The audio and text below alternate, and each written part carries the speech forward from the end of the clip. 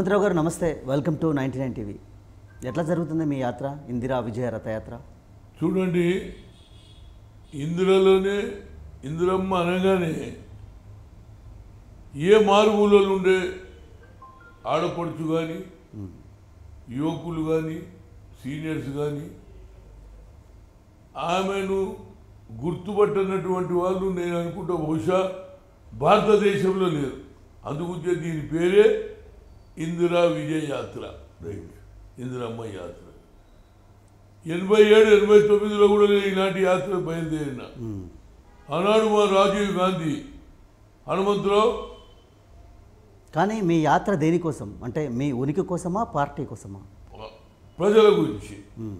ముఖ్యంగా కేసీఆర్ అబద్ధాలు చెప్పి గద్దె ఎక్కి అబద్ధాలు చెప్పినటువంటి ముఖ్యమంత్రి ఒక్క ఇచ్చినటువంటి వాగ్దానాలు సాధ్యం కానటువంటి వాగ్దానాలు కూడా చెప్పి సోనియా గాంధీ తెలంగాణ ఇచ్చింది కాబట్టి ప్రజలందరూ సోనియా గాంధీకి కాంగ్రెస్ ఓటేస్తారని ఒక ఆలోచనతో అబద్ధాలు చెప్పి ప్రజల్లో మేనిఫెస్టో పెట్టి ఇంటికో ఉద్యోగం అని టూ బెడ్రూమ్ అని అదేవిధంగా ఫీజు రియంబర్స్మెంట్ అని ఇలాంటి మూడు ఎకరాల భూమి అని అంటే గత నాలుగేళ్ళుగా నాలుగున్నరేళ్ళుగా సైలెంట్గా ఉన్న బిహెచ్ నాలుగున్నరేళ్ళ కాలంలో సైలెంట్గా ఉన్న మీరు ఇప్పుడు యాత్ర చేయడానికి కారణం? చూడండి నాలుగున్నర ఏళ్ళలో ఎప్పుడైతే కేసీఆర్ అసెంబ్లీని రద్దు చేసి నిన్నటి వారికి ఏమన్నాడు? నేను రథం తీయడానికి రెండు కారణాలు ఉన్నాయండి. కేసీఆర్ గతంలో అబద్ధాలు చెప్పి గద్దెక్కాడండి ఈ నాలుగున్నర సంవత్సరంలో ఎలాంటి అభివృద్ధి చేయక అకస్మాత్తుగా ప్రజలు ఇచ్చినటువంటి ఐదేండ్లు పరిపాలన చేయమంటే నాలుగున్నర ఏండ్లకి అసెంబ్లీని రద్దు చేసి నేను ఎన్నికలకు పోతున్నా. అపోజిషన్ వాళ్ళు నన్ను పని చేయనిస్తలేరు. కోర్టులకు వెళ్తున్నారు ఏ అభివృద్ధి కార్యక్రమాన్ని అడ్డుకుంటున్నారు అనేది ఒక అంటే పార్టీ తరపున చేస్తున్నారా మీరు యాత్ర? ప్రైవేట్గా లే లే, లే. మా పిసిసి ప్రెసిడెంట్ అనుకో. Incharge general secretary everybody has given a permission. అందుగురించే దీని జెండా ఊపింది కూడా ఎవరు? మా పిసిసి ప్రెసిడెంట్ గారు. ఈ రథంలో ఎక్కింది ఎవరు? ఇన్ఛార్జులు ముగ్గురు. బోసరాజు సలీం అహ్మద్ శ్రీనివాస్ రామచంద్ర కుంటియా. అందరూ కూడా ఒప్పుకున్నారు. అసలు ఈ రథం అంటే ఎలాంటి అవతల వారికి ఏ గ్రామంలో పోయినా ఏ మీటింగ్ పెట్టుకోవాలన్నా వాడు పాపం మైకు డబ్బు పెట్టాలి స్టేజ్ వేయాలి జెండలు కట్టాలి ఇది ఏం అవసరం లేదు. మైక్ నాదే మాట్లాడే రైట్ మాదే. అదేవిధంగా అక్కడ నిలబడి మాట్లాడగలిగి మళ్ళీ ఇంకో ముందుకు పోతాం కాబట్టి ఇది చాలా ఈజీ సాధన. కమ్యూనికేషన్ గురించి ఇంత మంచి సాధన మళ్ళీ దొరకదు. కానీ మీ మీ ఉనికి కోసమే విహెచ్ ఉనికి కోసమే ఈ యాత్ర చేపట్టాడన్న ఒక చర్చ ఎవరు ఏమనుకున్నా నన్ను కూడా గతంలో ఎప్పుడైతే ఎన్టీ రామారావు వ్యతిరేకంగా ఆనాడు రాజీవ్ గాంధీ ఇచ్చిన రథం సీతారాం కేసరి ఏసీ సెక్రటరీగా ఏఐసిసి ట్రెజరర్గా ఇచ్చినప్పుడు కూడా ఇలాంటి ఆరోపణలు వచ్చినాయి? ఏమిటి? హనుమంతరావు? రామారావుని ఎదుర్కొంటాడా? రామారావు ఇక్కడ హనుమంతరావు ఇక్కడ అన్నాడు. కానీ ఒక పదిహేను పది రోజుల తర్వాత ఎంత స్పందనండి? తిరుపతిలో మొదలు పెడితే ఎప్పుడైతే నెల్లూరుకు వచ్చినో హుటాహుటిగా కాంపిటీషన్లో హనుమంతరావు గారు మేము మేము వస్తామండి మీ రథం ద్వారా. హనుమంతరావు రెండు మాటలు మాట్లాడేందుకు అవకాశం ఇవ్వని చెప్పిన రోజులు గుర్తొస్తున్నాయి. అంటే ఇప్పుడు కూడా అలాంటి స్పందన ఉందా ప్రజల నుంచి? ఆ ఆ స్పందన గతంలో ఎయిటీ సెవెన్ స్పందననే ఎయిటీ నైన్ ఎన్నికల్లో ఉపయోగపడ్డది గెలిచినాం. చెన్నారెడ్డి గారి నాయకత్వంలో. ఓకే. ఇప్పుడు కూడా మొన్న చూశారు మీరు గజ్వెల్. ఎవరి కాన్స్టిట్యూన్సీ అండి అది? సాక్షాత్తు కేసీఆర్ సొంత నియోజకవర్గంలో పదిహేను నుంచి ఇరవై వేల మంది వచ్చారండి. ఎందుకు వచ్చారు? మార్పు కోరుతున్నారు. ఇది మా గొప్పతనం కాదు. ప్రజలు విసిరి వేశారిపోయారు అన్నీ ఇంకా అబద్ధాలే చెప్తున్నాడు. నాలుగున్నర ఏళ్ళ నుంచి మాకు మోసం చేస్తున్నాడు. ఇంటికో ఉద్యోగం కూడా ఒకటి రాలే. అసలు ఇంటికి కాదు ఊరికో ఉద్యోగం కూడా రాలే. అదేవిధంగా టూ బెడ్రూమ్ అన్నాడు. ఏంది ఇద్దరమ్మ ఇల్లు అయితే ఏమి? నేను దానికంటే బాగా కట్టిస్తే. అల్లుడు వస్తే ఏడవనుకుంటాడు కాలు వార తప్పుతాడు అన్నాడు ప్రజలు నమ్మి వచ్చారు కాళ్ళు వారదాపేది అట్లనే ఉన్నది. అల్లుడు వస్తే పడుకునే స్థలం లేదు. అదేవిధంగా యువతరానికి స్టూడెంట్స్కు ఫీజు రియంబర్స్మెంట్ కాంగ్రెస్ పీరియడ్ ఇస్తే దాంట్లో దాన్ని కూడా నోట్లో మట్టి కొట్టిండు. రైట్ ఈరోజు కొద్దిసేపటి క్రితం ఎన్నికల మేనిఫెస్టోకు సంబంధించిన ప్రధాన హామీలను ఇస్తూ టీఆర్ఎస్ పార్టీ ప్రకటించింది. సో కాంగ్రెస్ పార్టీ ఇప్పటివరకు మేనిఫెస్టో రిలీజ్ చేసేవి చూడండి మేము ఎందుకంటే వాడు మొదటి నుంచి కూడా అలవాటు. అబద్ధాలు చెప్తాడు. కనుక మేము చెప్పేది ప్రజలు నమ్మేటట్టు. మనం కూడా వారిలాగానే మోసం చేయొద్దు అనేది మేము అయినా మేము మా మేనిఫెస్టోలో మేము రెండు లక్షల వరకు రైతు రుణమాఫీ వచ్చిన వారం రోజుల్లో చేస్తామని చెప్పాము. అదేవిధంగా మహిళలకు వడ్డీ లేని రుణాలు పది లక్షల వరకు అన్నాం. అదేవిధంగా నిరుద్యోగ వృత్తి మూడు వేలు అన్నాం. అదేవిధంగా ఓల్డేజ్ పెన్షన్ వెయ్యి నుంచి రెండు వేలు చేస్తాను అదేవిధంగా రైతుకు గిట్టుబాటు ధర ఇవ్వాలి. వాడు ఎన్నన్నా చెప్పని సపోజ్ కాటన్ ఉన్నదనుకో ఇవాళ కాటన్కి ఎంత ఇవ్వాలి అనేది కూడా ఇవాళ డిసైడ్ చేసుకుంటున్నాం. రైతుకు ఏదైతే పండించిన పంటకు సరి అయిన మూల్యం చెల్లించడానికి మేము ఛాయ్ సెక్టర్ పసుపు కానీ అదే కంది కానీ వీటన్నిటి కూడా మాది ఒక పద్ధతి ఉన్నది. ఆ పద్ధతి ద్వారానే చేస్తాం తప్పితే వారిలాగా మేము ఆల్రెడీ చెప్పినాం ఆరు సిలిండర్లు ఇస్తామన్నాం సంవత్సరానికి. ఇవన్నీ కూడా సాధ్యమైన చెప్తున్నాం. ఆయనలాగా మేము. రైట్ ఓకే మేనిఫెస్టోలు ఏ విధంగా ఉన్నా గత నాలుగున్నరేళ్ళ కాలంలో అద్భుతమైన పరిపాలన అందించాం. మేనిఫెస్టోలో లేనటువంటి అంశాలని కూడా మేనిఫెస్టోలో లేనటువంటి పథకాలని కూడా తీసుకొచ్చామని ప్రభుత్వం చెప్తా ఉంది. అది నిజమే. అసలు మేనిఫెస్టోలో పక్కకు పెట్టి ఎందులో డబ్బులు ఎక్కువ వస్తాయి? ఇరిగేషన్లు అయితే వస్తుంది. మిషన్ భగీరథలు వస్తుంది. మరి మిషన్ భగీరథ ఏమన్నాడండి? నేను నీళ్ళు ఇస్తే ఇట్లా నల్ల దిప్పంగా ఇంటికో నల్ల దిప్పంగానే నీళ్ళు అన్నాడు. అవును. ఈరోజు కొద్దిసేపటి క్రితం కొద్దిసేపటి క్రితం మంత్రి హరీష్ రావు మాట్లాడుతూ దాదాపు పదిహేను వేల గ్రామాలకు నీళ్ళు ఇచ్చామంటూ ఆయన చెప్పడం జరిగింది. చూడండి ఆయన చెప్పుకో వరకే ఎన్ని గ్రామాలు ఇచ్చిండే అని కదా లెక్క లేదు. ఆయన ఏమన్నాడు? ఇంటికో నీళ్ళు ఇస్తేనే ఓటు అడుగుతున్నాడు పదిహేను వేల గ్రామాలకే ఇచ్చాడు మిగతా గ్రామాలు ఏమైనాయి? నేను అది అడుగుతున్నా. నువ్వేమన్నావు? ఇస్తేనే అంటే మిగతా గ్రామాలు ఓటు వేయొద్దన్నట్టే కదా. నేను ఆ లెక్క అంటున్నా. పదిహేను వేల గ్రామాలకి ఇచ్చి మిగతా గ్రామాలు ఏమైనట్టు? అబద్ధాలు ఎందుకు చెప్పినట్టు? మీకు ప్రాణహిత సేవలకు మేము నేషనల్ ప్రాజెక్ట్ ప్రాజెక్ట్ కావాలి రైట్. విఎస్ గారు ఒకటి ప్రధానమైన ప్రశ్న. తెలంగాణ కాంగ్రెస్లో అత్యంత సీనియర్గా బీసీ నేతగా గాంధీ కుటుంబానికి అత్యంత విధేయుడిగా ఉన్న మీకు ఇప్పటి వరకు ఎలాంటి కీలకమైన పదవి లభించకపోవడానికి కారణం ఏంటి చూడండి నేను నిజం చెప్పాలా నేను బీసీ కులంలో పుట్టా నేను గర్వపడతా. ఎందుకంటే ఏ మహాత్మా జ్యోతిరావు పూలే అయితే ఎయిటీన్త్ సెంచరీలో చదువుకుంటేనే భవిష్యత్తు ఆనాడు కూడా మహాత్మా జ్యోతిరావు చాలా అవమానాలకు ఆయన గురి అయిండు. అందుకుంటే చదువుకుంటేనే భవిష్యత్తు అంటేనే బాబాసాహెబ్ అంబేద్కర్ రాజ్యాంగం రాశాడు కాబట్టి ఇవాళ ఎస్సీ సోదరులకు సరి అయిన న్యాయం జరుగుతుంది. హనుమంతురావు రాలేదని బాధ కాదు. నేను అన్యాను నేను చిన్న కుటుంబంకి వెళ్ళి వచ్చిన ఎమ్మెల్సీ అయినా యూత్ కాంగ్రెస్ ప్రెసిడెంట్ అయినా పిసిసి ప్రెసిడెంట్ అయినా మూడు సార్లు రాజ్యసభ అయినా కేబినెట్లో రెండు సార్లు మంత్రి అయినా ఇంకేం కావాలండి ఒక ముఖ్యమంత్రి దగ్గరికి వచ్చిపోయిందండి ఎందుకు నేనేమంటున్నాను విహెచ్ గారికి అవకాశం లభించలేదు అంటే బీసీ నేత బీసీ నేత అయినందువల్లనే విహెచ్కి ముఖ్యమంత్రి నేను అనేది ఏ రెడ్డి అయిన ఉంటే ఏ ఎస్సీ అయిన ఉంటాయి ఎందుకంటే ఎస్సీ ఒక్కసారి అయిండు. వాళ్ళకు కూడా న్యాయం జరగలే. సంజీవయ్య గారు వన్ అండ్ హాఫ్ ఇయర్ అయిందండి. ఈ భారతదేశం స్వాతంత్రం వచ్చినప్పటి నుంచి ఇప్పటి వరకు కూడా అదే కర్ణాటకలో నలుగు బీసీ ముఖ్యమంత్రులు అయ్యారు. దేవరాజ బంగారప్ప వీరప్ప మౌని ఇవాళ సిద్ధరామయ్య. ఈడ మా దగ్గర ఒక్కడు కూడా రాలే. నేను అనుకుంటాను రాహుల్ గాంధీ గారు తప్పనిసరిగా ఈసారి చేస్తాడా ఎప్పుడు చేస్తాడా ఆయనకు ఎప్పుడైతే గుజరాత్ ఎన్నికల తర్వాత బీసీల గురించి చాలా మందికి అంటే బీసీలకు అవకాశం దొరకట్లేదు కాబట్టి డిఎస్ లాంటి వాళ్ళు పార్టీని వదిలి బయటికి వెళ్తున్నారా?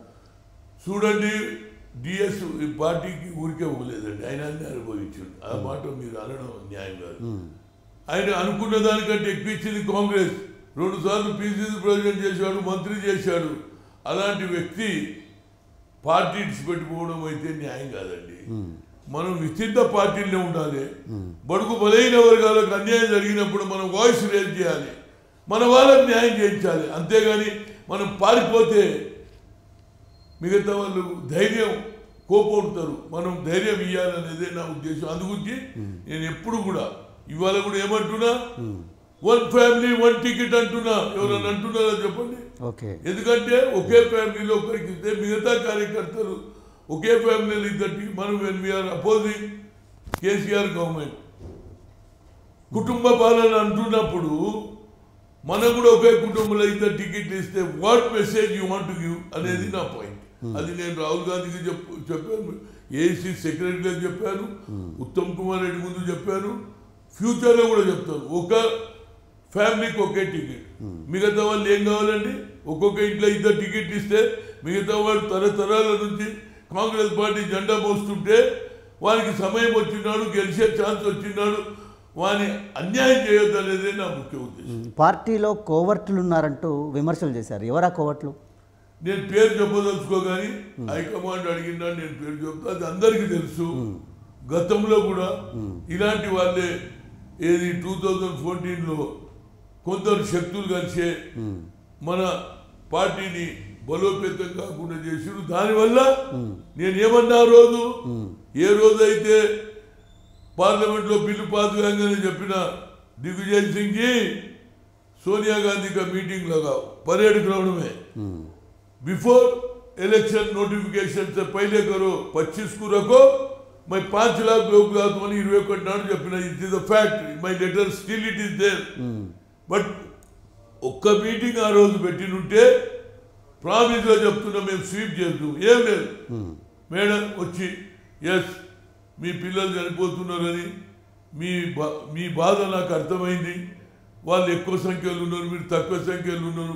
ఎక్కువ సంఖ్యలో న్యాయం జరుగుతుంది. నేను ఇచ్చిన మాట నిలబెట్టుకున్నా. నాకు తెలుసు ఆంధ్రలో మాకు అన్యాయం జరుగుతుందని. నేను ఇచ్చిన మాట మీరు కూడా మాట నిలబెట్టుకుని ఒక్క మాట అన్నుంటే no question of KCR Congress me sweet ఇవాళ ఏమంటున్నారు మా నాన్న స్ట్రైక్ చేయవలసి వచ్చింది? భయపడి ఈపులు బద్దలు కొడతారని ఇచ్చిండ్రు అనేది ఇది మూర్ఖ మాటలు. సోనియా గాంధీ మీతో భయం కాదు రాబోయ్ ఇందిరాగాంధీ కుటుంబం ఎవరికి లెక్క చేయదు వాజ్పేయి అన్నాడు దుర్గా అన్నాడు ఇందిరాగాంధీని ఇందిరాగాంధీ కోడలు ఇప్పుడు అదే ధైర్యంగా ఉండి భర్త చచ్చిపోయినా అత్త చనిపోయినా ఈ దేశానికి సేవ చేయాలని ఇతర దేశాల్లో పుట్టిన భారతదేశ సంస్కృతిని తూచా తప్పకుండా పాటిస్తున్నటువంటి ఏకైక మహిళ రెండు సార్లు ప్రధానమంత్రికి అవకాశం వచ్చిన no. I don't want with prime minister అంటే మీకు ఎప్పుడు అవకాశం దొరికినా గాంధీ ఫ్యామిలీకి విధేయత ప్రకటిస్తారు. వీర విధేయుడిగా ఉంటారు. కానీ ఇంకా ఇప్పటికీ విహెచ్ గారు పదవులు అడుక్కునే స్థాయిలోనే ఉన్నారన్న ప్రచారం ఉంది. చూడండి వాళ్ళు ఇచ్చినా ఇవ్వకపోయినా నేను అది అడుక్కునేది కాదు. నా బ్లడ్లోనే కాంగ్రెస్ ఉంది. ఒక చిన్న కుటుంబం అంబర్పేట అనే గ్రామం నుంచి ఈ స్థాయికి వచ్చిందంటే అది because of Congress. Because of Indira Gandhi because of Rajiv Gandhi. ఎందుకంటే నాలో సహాయం పొందిన వారిని తప్పనిసరిగా నేను like not I'm KCR. KCR ఏమన్నాడు? ఏ రోజైతే అమ్మా మీరు తెలంగాణ ఇస్తే నీ కాళ్ళు కడిగి నెత్తి మీద కోసుకుంటామ్మా. నేను కాపలా కుక్క నాకు తెలంగాణ వస్తే చాలన్నాడు కుటుంబం లేదన్నాడు. ఇవాళ సోనియా గాంధీని పట్టుకొని అమ్మ బొమ్మ అంటున్నారు. నాది ఆ కల్చర్ కాదు. తెలంగాణ కల్చర్ ఏంది? ఒక పూట అన్నం పెడితే ఆకలితో ఉన్న వ్యక్తి పెడితే జీవితాంతం ఆ ఇల్లును ఆ తల్లిని మర్చిపోను అనేది మన సాంప్రదాయం. ఆ సాంప్రదాయం ఎదురుగా ఇవాళ వాళ్ళ కుటుంబ సభ్యులు కాళ్ళు మొక్కిండ్రు. సోనియా గాంధీ ఇంటి దగ్గర పోయిండ్రు. మనుమలు మనవరాలు ఇవాళ సోనియా గాంధీని కించపరిచినట్టు మాట్లాడుతుండ్రు కాబట్టే హనుమంతరావు లాంటి కార్యకర్త నేను ఒక్కటే ధ్యేయం సోనియా గాంధీని అవమానపరిచినటువంటి వ్యక్తి సోనియా గాంధీ కించపరిచినటువంటి వ్యక్తి లాభం పొంది ఇవాళ సోనియా గాంధీ ఇడుతుండు కాబట్టి నేను పోటీ చేయకుండా కేసీఆర్ గద్దెదించడమే ఏంటి? అంటే మీరు మీరేమో ప్రచార కమిటీ చైర్మన్గా పదవిని అడగడం జరిగింది. మీకేమో స్ట్రాటజీ ప్లానింగ్ కమిటీ చైర్మన్గా పదవి ఇచ్చారు మీ. స్ట్రాటజీ ఏంటి ఈ ఎన్నికల్లో చూడండి ఏ పదవి ఇచ్చినా ఇవ్వకపోయినా హనుమంతురావు పేరుతోటి ఆయనకు ఉన్నది పదవి. ఎందుకంటే హనుమంతురావు ఏడవైనా గుర్తించని వారు లేరు ఏ ఊరు పో ఇవాళ నేను తెలంగాణ వాడైనా శ్రీకాకుళం నన్ను గుర్తుపడతారు. అదేవిధంగా చిత్తూరులో గుర్తుపడతారు కాకినాడలో గుర్తుపడతారు రాజమండ్రి ఎందుకంటే నేను యువజన కాంగ్రెస్ కార్యకర్తగా ఎప్పటి నుంచో పనిచేస్తున్నా. ఆ తర్వాత పిసిసి ప్రెసిడెంట్ అయినా ఆ తర్వాత ఇందిరా విజయలతో తిరిగిన నా భాష నేను మాట్లాడే తీరు అందరితో కల్చర్గా ఉంటా కాబట్టి నవ్వుకుంటుంటా. అవసరం ఉన్ననాడు గట్టిగా నిలబడతా కాబట్టి ప్రత్యక్ష ఎన్నికల్లో విహెచ్ పనికిరారు. అది అంబర్పేట ఎన్నికల్లో రుజువైంది. చూడండి నేను రెండు సార్లు పోటీ చేశా. మొదటిసారి గెలిచా. రెండు సార్లు పోటీ చేసినాక ఎప్పుడు కూడా నేను ఎప్పుడైతే కాంగ్రెస్ వ్యతిరేక వేవ్ స్టార్ట్ అయినప్పుడు నేను పోటీ చేశా. ఓకే. ఇవాళ కాంగ్రెస్ వేవ్ ఉన్నది. అయినా నా కర్తవ్యం ఏంది? మొదలు కాంగ్రెస్ని గెలిపించాలి అందుగురించి నేనేమన్నా నేను పోటీ చేయను. పోటీ చేస్తే ఒకే స్థానంలో నేను గెలవడం క్వశ్చన్ కాదు. అన్ని ప్రాంతాలలో తిరిగి ఎక్కువ మందిని గెలిపి ఎందుకంటే మనం మేజర్ శత్రువు కేసీఆర్. కేసీఆర్ గద్దెదించాలంటే నలుగురు నాలుగు దిక్కులకి వెళ్ళి అందుగురించే మహాకూటమి కూడా మేము ఒప్పుకుంటున్నాం. ఎందుకంటే ఒక్క ఓటు కూడా వేస్ట్ కావద్దు ఎందుకంటే ఈయన దొరల పాలన కుటుంబ పాలన. అంటే మీరు బీసీ కాబట్టే మీకు ప్రాధాన్యత లేనటువంటి స్ట్రాటజీ కమిటీని అప్పచెప్పారన్న అసంతృప్తి మీకు? హనుమంతరావుకు ప్రాధాన్యత క్వశ్చన్ కాదండి. పాము మనిషిని కలిసిందంటే న్యూస్ కాదు. మనిషే పాము కలిసిండు అనుకో దట్ ఈస్ హనుమంతరావు నాకు ఏ పదవి ఇచ్చినా ఇవ్వకపోయినా ఆ పదవిని వెన్నదేస్తా. నాకు ఇవాళ తిరుగుతున్న రథం వేసుకొని ఎక్కడ పోయినా హనుమంతరావు హనుమంతరావు హనుమంతరావు ఏడ పోయినా రోడ్డు మీద వెళ్తా, హనుమంతరావు గారండి మీరు? చాలా బాగా మాట్లాడతారండి. మీరు గట్టిగా మాట్లాడతారండి అన్నారు. చాలు నాకు అదే. మూడు సార్లు రాజ్యసభ సభ్యుడిగా పనిచేసిన మీరు కేంద్ర మంత్రి పదవి మీకు వరించలేదు. కారణం? టూ థౌజండ్ ఎయిట్లో ఒకసారి వచ్చిందండి ఛాన్స్. ఆనాడు మరి అవకాశం వచ్చింది.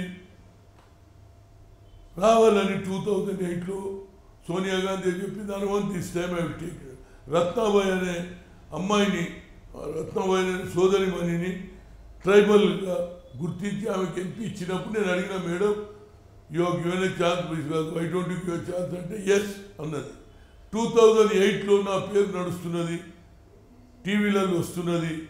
అప్పుడు కే కేసీఆర్ మన రాజశేఖర్ రెడ్డి క్యాంప్ ఆఫీస్ నుంచి వచ్చి పదకొండు గంటలకు సెక్రటరియట్లో కూర్చొని ఢిల్లీ వాళ్ళని బెదిరించారు. You want to make another power centre అప్పుడు ఆయన ఫుల్ పవర్ ఉండే. నాకు ఇయ్యొద్దని బెదిరించిండు. అప్పుడే నేను టూ థౌజండ్ ఎయిట్ ఇస్తే టూ థౌజండ్ ఫోర్టీన్ వరకు నేను six years I will be the minister that is my bad luck మళ్ళీ అదే రాజశేఖర్ రెడ్డి పిసిసి ప్రెసిడెంట్ నేనే చేసింది? చాలా మంది యువకులకు తెలియదు వీళ్ళ నాయన మర్డరర్. వీడు ఫ్రాక్షనిస్ట్. అని ముప్పై మంది ఎంపీలు ఇవాళ కొందరు ఎంపీలు బతుకున్న వాళ్ళని అడగండి సంతకాలు పెడితే ఇందిరాగాంధీ ఆపేసింది. విజయభాస్కర్ రెడ్డి మేము ఇద్దరు ఆయనకు సపోర్ట్ చేస్తున్నట్టు విజయభాస్కర్ రెడ్డి కూడా చేయలేవట్టేస్తే బట్టి విక్రమార్కలాగా కొట్లాడి రా- రాజీవ్ గాంధీని కన్విన్స్ చేస్తే ఆయన ఒప్పుకున్న తర్వాత రెండో దినం సాయంత్రం నైన్ ఫిఫ్టీన్ వన్ అక్బర్ రోడ్కి వెళ్ళి ఫోన్ వచ్చింది. బ్రిన్ బ్రిన్ అన్నది వాళ్ళు. ఏపీ గెస్ట్ హౌస్లో రూమ్ నెంబర్ టూలో ఉన్నా still is the witness one of my friend Kamalakar Rao. ఆయన ఉండే. ఫోన్ లేవట్టా ఏ హనుమాన్ ఎవరు మాట్లాడుతుంటే రాజీవ్ గాంధీ ఈ రాత్రి అని నేను భయపడలేదు ఏ Hanuman I make made in your friend became the PCC you are happy I'm happy after that ఇదే రాజశేఖర్ రెడ్డి నన్ను ఫినిష్ చేయాలని ఎంతో ట్రై చేసిండు. గాడ్ వాజ్ దేర్ అన్నం పెట్టినోనికి సున్నం పెట్టొద్దనే ఆలోచన మాది కాదు. అది రాయలసీమలో మళ్ళీ ఎందుకు వచ్చిందో తెలియదు. రాజీవ్ గాంధీతో మీ సాన్నిహిత్యం ఎలాంటిది? అంటే ఆయనను రాజకీయాల్లోకి తీసుకురావడంలో విహెచ్ కృషి కృషి విశేషంగా ఉందన్న ఒక ప్రచారంలో ఉంది. చూడండి నేను రాజకీయాల్లో తీసుకొచ్చడం క్వశ్చన్ కాదు. అక్కడ గ్యాప్ ఏర్పడింది. ఓకే. ఎప్పుడైతే సంజయ్ గాంధీ అకాల మరణం ప్లేన్ యాక్సిడెంట్లో చనిపోయిన తర్వాత who is the next who who will support to Indira Gandhi ఎందుకంటే తన సొంత మనిషి ఇందిరాగాంధీ దేశానికి ప్రధానమంత్రి అయినా కొంత నమ్మకస్తులు తమ ఆలోచనను పంచుకునే వాళ్ళు ఉండాలి అనేది నా ఉద్దేశం. సంజయ్ గాంధీ ఉన్నంతసేపు అదే జరిగింది. ఏ సంజయ్ గాంధీ అయితే సెవెంటీ సెవెన్లో ఓడి ఓడిపోయింది యావత్ భారతదేశంలో అని సంజయ్ గాంధీ మీద ఆరోపణలు ఉండే. ఆయన వల్లనే అయిందని మళ్ళీ అదే సంజయ్ గాంధీ నైన్టీన్ ఎయిటీలో వచ్చే లోపల ఆయన పూర్తిగా మళ్ళీ ప్రభుత్వం చేయగలిగాడు. అది ఆయన ఉన్న గొప్పతనం. కొందరేమో మేనకా గాంధీ కావాలి మేనకా గాంధీ కావాలి అన్నప్పుడు నాకు ఆలోచన వచ్చింది. నాకు ఇద్దరు ముగ్గురు జిల్లా స్టేట్ ప్రెసిడెంట్లు రాజీవ్ గాంధీని హోప్ ఆఫ్ ది నేషన్ అని మేము. అన్నాం అది టైమ్స్ ఆఫ్ ఇండియాలో ఫ్రంట్ పేజీలో వచ్చింది. హనుమంతరావు వంటు రాజీవ్ గాంధీ. అది అదే రోజు వచ్చింది. నాకు తెలియదు. ఇందిరాగాంధీ దగ్గర పోయా వన్ అక్బర్ రోడ్లో ధర్మ దర్శనానికి ma'am ma'am V Hanumantha Rao from Andhra Pradesh youth Congress president అనగానే యువర్ హనుమంతరావు స్టాండ్. ఫోటోదార్జీ హనుమంత్ ఐ వాజ్ అప్సెట్ ఏమంటారు పోయింది ఆ పేపర్లు వచ్చింది నేను చూడలే.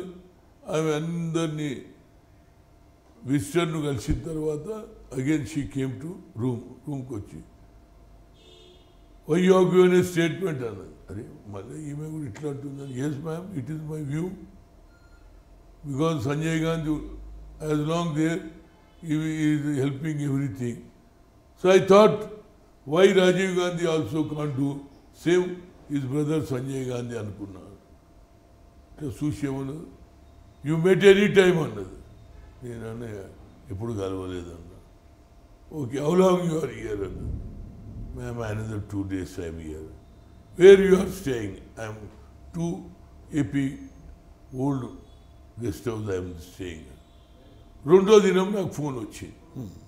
ఏది? రెండో దినం సాయంత్రం. పొద్దున లెవెన్ ఓ క్లాక్ అని నేను అపాయింట్మెంట్ అడిగిన నాకు పిలిచిందని పోయినా.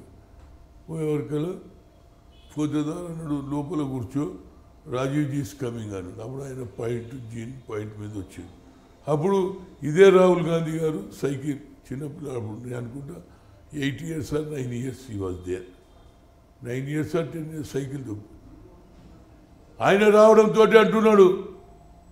వై అనే స్టేట్మెంట్ అంటే నేను your support me more important to your mother as long your brother was there there is no problem అంటే no no I'm not interested in politics I'm a pilot అన్నాడు. పైలట్గా training రావడం. ఇక అప్పుడు నేను రోజు పోవడం. నువ్వు రావాలని చెప్పడం ఇక ఎప్పుడు అట్లా నాకు పరిచయం అయింది. ఆ తర్వాత మిగతా సీనియర్ నాయకులందరూ కూడా నచ్చజొప్పి ఆయనను రాజకీయాల్లో రైట్ తీసుకొచ్చారు అంటే ఢిల్లీలో నడిచే హనుమంత్ అన్న గల్లీలో తన పార్టీని మాత్రం గెలిపించలేకపోతున్నారు. కారణం? ఢిల్లీ మన పార్టీలో చూడండి పార్టీలో చాలా ప్రాబ్లమ్స్ ఉంటుంది. నాకేం అవసరం లేదు ఇవన్నీ ఒప్పించి చేసేది. నా గుర్తింపు నాకున్నది ఎక్కడికి పోయినా హనుమంతరావు అంటారు ఏంది పద ఇప్పుడు నేను గెలవడం ఓటమి కాదు. ఇందిరాగాంధీ కూడా ఓడిపోయింది. కానీ నాకున్న పలుకుబడి నేనేమంటున్నంటే పది మందికి పాలు వంచాలని. ఈనాడు కేసీఆర్ కుటుంబ సభ్యులతో కలిసి సోనియా గాంధీని కించపరిచేట్టు కాంగ్రెస్ వాళ్ళని కించపరిచేటట్టు మాట్లాడుతుంటే నేను ఉండలేకపోతున్నాను నేను గెలవడం గొప్పం కాదు. పది మందిని క్యాన్వాసింగ్ చేసి వాళ్ళ దగ్గర గెలిపిస్తే నాకు ఒక దేవుడు ఇచ్చినట్టు వాయిస్ ఉన్నది. దేవుడు ఇచ్చినటువంటి బలం ఉన్నది తల్లిదండ్రులు ఇచ్చినటువంటి ఆశీర్వాదం ఉన్నది కనుక నేను తిరగాలని నేను మొదలే చెప్పిన కేసీఆర్ దళిత అభ్యర్థిని అంటే దళిత వ్యక్తిని దళితుణ్ణి ముఖ్యమంత్రి చేస్తానని చెప్పి చేయలేదని విమర్శిస్తున్న కాంగ్రెస్ పార్టీ దళితుణ్ణి బీసీని ముఖ్యమంత్రిని చేసే అవకాశం ఉందా? వచ్చే గెలుస్తే చూడండి తప్పనిసరిగా అవుతాడో లేదైతే ఇప్పుడైతాడో చెప్పలేను కానీ రాహుల్ గాంధీ గారు తప్పనిసరిగా ఈసారి ఆలోచన చేస్తాడు అనేది నాకు నమ్మిక ఉన్నది. ఈరోజు విఏ చేస్తున్న రథయాత్రకు వస్తున్నటువంటి డబ్బులు ఎక్కడి నుంచి వస్తున్నాయి? చూడండి వెల్ విషర్స్ ఉన్నారు మా సిస్టర్ ఉన్నారు మా అక్క కొడుకులు ఉన్నారు. అందరిని తలా ఇంత కొందరు వెల్ విషర్ దగ్గర అడుగుతా చూడరాబా ఎవడే కానీ ఇంటికి తీసుకుపోతా అంటే ఇయ్యాడు కానీ పార్టీకి పది మందికి ఉపయోగపడుతుంటే ఇస్తారు. చాలా మంది నాకు సాయం చేసిండ్రు. నా దగ్గర అంత డబ్బు ఏం లేదు. నేను అంత సంపాదించలే. అందరికీ తెలుసు నిజంగా నేను సంపాదించాలంటే సగం హైదరాబాద్ నాదే. ఎందుకంటే ఆ రోజులలో నాకున్నటువంటి పేరు హనుమంతరావు అంటే అందరు లైక్ చేశారు యూత్ కాంగ్రెస్ ఇవాళ గుర్తింపు వచ్చిందంటే కేవలం హనుమంతరావు వల్లనే. యావత్ భారతదేశంలో నన్ను గుర్తించని వారు లేరు. టీడీపీ పొత్తుపై కొన్ని విమర్శలు చేశారు మీరు. చూడండి టీడీపీ పొత్తుపై కొందరు అవాక్కులు చెవాక్కులు చేస్తున్నారు. కానీ నేను వాళ్ళని అడుగుతున్నా. మీరు ఎప్పుడైతే అదేది ట్రాన్స్పోర్ట్ మినిస్టర్. అదేవిధంగా శ్రీనివాస్ యాదవ్. మహేందర్ రెడ్డిని అదేవిధంగా శ్రీనివాస్ యాదవ్ను తుమ్మల నాగేశ్వరరావును తీసుకున్నప్పుడేమో అది మీకు న్యాయం. మీరు ఏది చేస్తే అది ఒక ధర్మం. మేము మీరు చేసిందేమో ప్రాస్టిట్యూషన్ కాదు ప్రతివత. మేము ఇవాళ వాళ్ళకు కేంద్రంలో ఉన్నటువంటి ప్రభుత్వం ఆంధ్రప్రదేశ్ రీఆర్గనైజేషన్లో స్పెషల్ స్టేటస్ ఇస్తున్న దాన్ని ఒప్పుకున్నటువంటి నరేంద్ర మోడీ తిరుపతిలో చెప్పాడు నేను ఇస్తానన్నాడు. ఇప్పుడు మాట మార్చాడు కాబట్టి కాంగ్రెస్ పార్టీ ఇచ్చిన మాట నిలుపుకోవడానికి ఇలా పార్లమెంట్లో కొట్లాడినాం. అదేవిధంగా ఇవాళ వాళ్ళకు తప్పనిసరిగా ఇవ్వడానికి వారితో కలిసి మహాకూటమి ఏర్పడింది. Right. Thank you very much VH గారు. ఇది ఇవాటి పొలిటికల్ మరో గెస్ట్తో మళ్ళీ కలుద్దాం. చూస్తూనే ఉండండి ninety nine TV. Please subscribe to New Waves. ఇలాంటి మరిన్ని మంచి వీడియోలు కావాలని కోరుకుంటున్నారా? అయితే పక్కనే ఉన్న గంట సింబల్ను క్లిక్ చేయండి. అలాగే సబ్స్క్రైబ్ చేయండి.